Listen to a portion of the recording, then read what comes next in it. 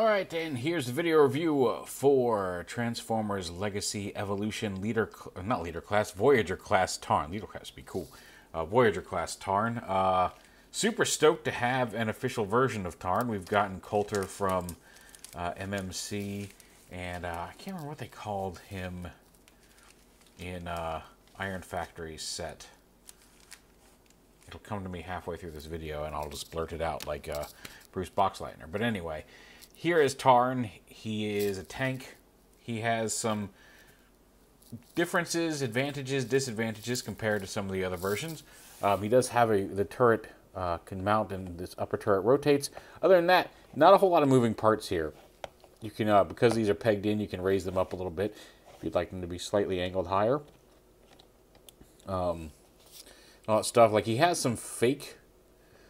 It's weird. They put fake little wheels in the treads to mimic the kind of wheels that you would expect a toy like this to have small wheels so it can still roll while not actually having to make functional treads. But um, they're just fake. I mean, you could just have him. I guess they're just something small to like set him up a little bit so you can slide him around and not scuff up all of the treads. But that's just weird that they would mold those in when the treads aren't functional, the wheels aren't functional. Just give me treads so it looks like a tank. But anyway, like I said, not you know, it has all the limitations of a mainline retail toy, although I feel like they've overcome a lot of them. Um, there's a couple things I wish were slightly different on him, uh, mostly when we get to robot mode. The one, the one tank mode issue I have is like his kneecaps. Um, it actually doesn't look bad. It kind of looks like a angled fin off the back of the tank, as if he were like a fast tank. But um, I, I wish they could have put like a pin through here so these gold flaps could kind of fold down and be flat along the back versus just solidly, permanently angled up like that. But uh, like I said, it doesn't look horrible, but I feel like it would look better if you could fold those down. That's my only real complaint here in tank mode because he's got a rotating turret and uh, the fake wheels, but they allow him to kind of skate around like that. But it's a fun little Tarn tank and a nice representation of what he's supposed to look like. The transformation, we'll go ahead and pop this off. There's a, lot, a couple different things you can see, like this little rotational joint uh, here that allows the whole thing to turn. There's a, some several different ways you can use the uh, the turret and these guns in robot mode, the fusion cannon uh, in robot mode, and we'll get to those. Um, but transforming it, uh, his legs are pegged in kind of up here and then onto some little tabs here. There's a couple of slightly confusing bits in the instructions um, like one, it tells you when you're transforming them to first angle the legs here at the knee, and then these actually bend in, and they but they're not super clear about how that these actually push in to finish transforming it. Um, and I feel like it would almost be easier to bend those first and then bend it at the knee when transforming it to help because this this is really tight and trying to get it to bend there to line up this little uh, slot over this peg hole it's hard to do, and you, you want to bend them. And even then, see when you, when you do it like that, it sits way too far forward to peg in, and you've really got to kind of wiggle that down first, and then fold it up to get that peg to line up. So just a little tip there. Uh, when transforming it, when it tells you to angle it here, angle it here instead, and then fold it up. A whole lot easier that way. But extend them there, unpeg them. Just the feet just fold down flat like that. And then here's, like I said, here are the pegs on these arm flaps. Uh, these, um, the tread here has a weird flap that is the first time when you're trying to turn it into a tank can be hard to do. Like it will, the first time one of these treads popped off at this friction hinge. These are not pinned. This one's pinned in, but this one is not. Um, because when you pull the tread out, you can see there's a this flat piece here has to fit into like a this little slot just past where this hinge is. And uh, when you try to do that the first time, it can get stuck if you don't have the arm folded all the way out like that. And the instructions tell you not to attach the arm here. Uh, you can see it pegs onto the leg until after this is folded in, but it's a whole lot easier if you plug that all the way in because then it holds the arm. This is just a, a friction hinge. There's no clicky clacky or ratcheting here. And that makes it a whole lot easier to fold this piece in and get that all lined up properly without either of these pieces conflicting that badly. Um, so I recommend doing that as well. But you flip these up and around, and then you fold the fake tread piece or outer tread piece that was on the bottom of the tank in to, to fill in that, that gap to make that hole. You can see there's some 5 millimeter peg holes on these treads as well. go ahead and straighten his legs up, split them apart, and then uh, this piece right here, you kind of unpeg this. And also, when you're going to tank mode, the head piece, the, the tab right here that this attaches to has to be at an angle, and it can be really hard to, like, it, it, when you're pushing on it, it wants to rotate, as you push up on it, it wants to rotate this to be more flat, and you got to kind of hold his head up like this, so that's kind of at a downward angle until you click that into place. But then you want to make sure that his robot head here push up on his chin so he's tilted all the way back because otherwise when you cover when you bring this down because it doesn't go forward it comes back and down to, to tab in for tank mode and you want to make sure his chin is out of the way so this can kind of cover it and conceal it because otherwise his chin's going to be right here and you can kind of get it to sit in place but you're going to see the bottom half of his face there so make sure that's like that anyway on we'll go and flip that down these treads pull out and rotate around and up like this. And that lets this chest plate fold down and then it tabs in. Once you get these all the way up, tabs into these, uh, push these in like that. And then that will tab into place like that. Then you can flip his head up. And again, he's got a flat peg here in front of his head that's going to tab into that same slot that uh, went onto the other tab in tank mode. And you just bring his arms down uh, rotate them in, rotate, or actually rotate them around so the purple hinges back. Then this panel flips around to form, go on the outside of his arms. Again, two 5 millimeter pegs on each of these. Rotate his wrist. Again, rotate this so it's on the interior. Fold that around to the outside. Flip that around. And then bring this up onto his back. Actually, no. Like th from this, you rotate this around like this then snap it up onto his back. It pegs into place right there. Then these unpeg and rotate around. And then they kind of clip into place these at, at the slight angle that you should have on Tarn. And then you can take this as a onto the arm as a fusion cannon. And there's a few different ways, again, there's different ways to use this. Let's go ahead and peg this on here. And depending on how you have this oriented, you can see plugging this in here on either the high or the low peg here on his arm, it interferes with the tread. Now you can rotate this piece around like this and plug it into the lower half of his arm.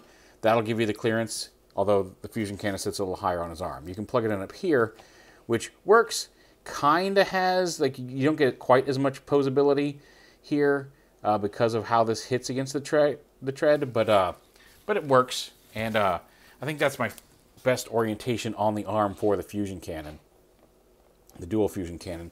But you can also take this, you could plug it on like this, and you can attach the guns further forward if you want. That helps a little bit with some of that clearance issue because this peg is low enough so you can make it like that. You can, uh, if you'd rather have it the other way, you can, like I said, you, have got a lot of options on how to make this work uh, here. Like that, plug it in like that different configurations. I thought that last way was probably the better of them. You can also take this, the instructions show you how to take this, flip it forward like this. You can rotate these down and clip them. They peg on right down here. And then you can attach this like a backpack to have the cannons come up over his shoulders. And again, you've got all the same, however you want them to sit rotationally around this hinge. If you want them to sit a little lower, you can mess around with it a little bit. If you want to have this backpack come up but have them kind of angle over his shoulder, you can do it like that. Um, I've also found that you can take this, rotate this all the way down and around like this, and then attach the cannons vertically. And I think this looks good. If you don't want to have deal with uh, the arm cannon version of it, I think having just those stick up over his chest, if you want him to have hold other guns, uh, you can do it like that. And speaking of holding other guns, I did a picture of this on Twitter. But uh, Ariel Lemon on Shapeways way back in the day had this Vos. It transforms. I'm not going to do it. We've, I've done a review of this. But has a 5 millimeter peg, which means if you have this, you can have him hold Vos here. It's got the little side handle if you want to hold him like that. Um, but yeah, so you can hold Vos. You just want to flip that down and open up his hand. He does have openable fingers.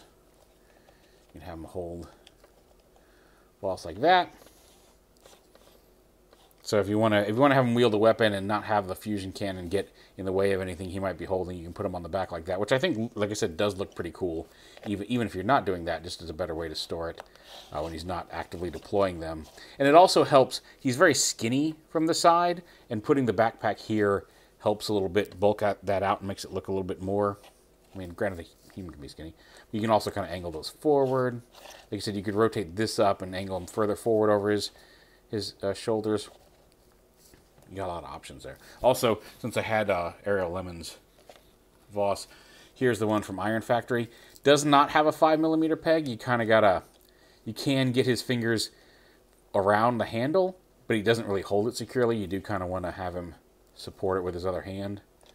But uh, if you want to have him, if you have the Iron Factory version of Vos, uh, he can wield that one as well. So your call. But there are two Vosses that look decent with him, and that's kind of cool.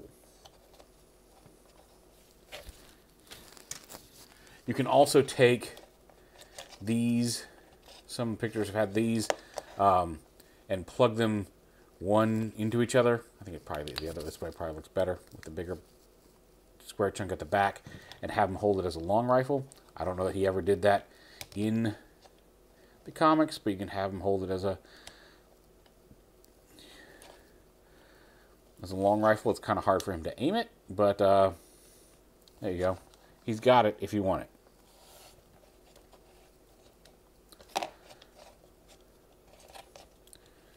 Go ahead and put him in his standard config. Now, the molding on this, you know, they make them hollow, which is fine, and they have some little ridges here that, one, reinforce the structure and also are also come out in curves. So from certain angles, it kind of looks like the curve goes all the way down. And on this one, it's not so bad because of it's got a the way it, it plugs in. It's got enough clearance here. When you plug it in on the side, all of that's down past here, and it looks nice. This one, it comes all the way back to here. So when you put this on here, it holds it out just a smidge. And I would have, I wish they could have maybe cut those down. I would have been okay with this part being flatter and uh, just you still have the support piece there, but have it be flat so this could sit flush against the uh, the centerpiece like this does. Because based just based on the comic, I feel like this the, the actual fusion cannon configuration is a little wider than it was in the comic. Like I, th- I think they were slightly offset, and you can do the offset bit, um, maybe a little more offset than the one in the comic was, but. Um, I just feel like they should be slightly closer together for the arm configuration mode. But whatever, you know, it's considering that it's it's a retail official Hasbro released version of Tarn. I'll accept some limitations because I think just think it's cool that we got this character, and it's a pretty fun little toy. Not perfect, but fun, and uh, cool. Also, speaking of comic only Decepticon leaders, we have gotten in Legacy or There he is with Jhiaxus. They look good together. Would they team up in real life? Well, I mean, again, none of it's real life. You know what I mean? Probably not. But it's cool to see two characters. Two characters I never would have thought we'd actually get. I mean, we've gotten Jhiaxus before, but never this comic accurate of a Jhiaxus. It's always been a repaint of like Jetstorm or something weird, and they made him orange for some reason. Which, if I'm complaining about the orange, you know something's off. But, anyway, um, really happy with both of these guys that we just got representations of them in uh, in our fiction. You know, like in, not in our fiction, in our toy lines. That's just super cool. I love that we're getting some Japanese characters uh, now in mainline releases. It's, it's just super cool. Like the, the Lio convoy they put out, Leo Prime, whatever they're calling him, is really cool. Um, we got the we got the, the HasLab Star Saber, which I know is a HasLab and not really a retail line, but I'm, I'm glad that we're seeing that representation of some of these characters that we haven't gotten easily to get in America here in these toy lines. And like I said, these two are a lot of fun. But uh, there is Voyager class Tarn from Legacy Evolution. Very cool. Very happy with him. Check him out if you're interested.